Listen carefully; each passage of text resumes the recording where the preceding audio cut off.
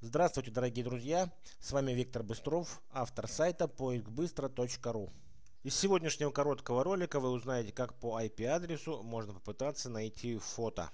Поводом для этого ролика послужил вот этот комментарий. Ужас! Правительство создало базу данных о всех жителях России. Сайт даже показывает местоположение абонента по номеру телефона. Как оказалось, таким способом рекламируют сайт «Национальный поиск данных».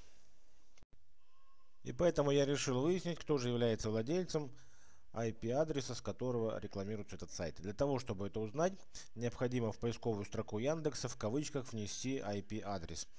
Затем просто внимательно изучить результаты поиска. Одна из ссылок привела нас на сайт, где упоминался комментарий одного из членов сообщества с указанием этого IP-адреса.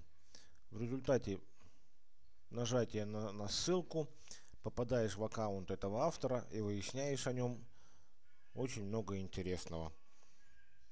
И семейное положение, и город, и место работы, и даже есть фотография.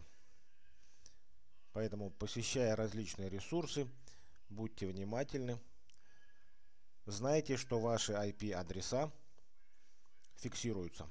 Для того, чтобы этого избежать, необходимо посещать различные ресурсы, где вы не хотите быть засвеченными через анонимайзеры, про, про один из которых я рассказывал в одном из прошлых роликов.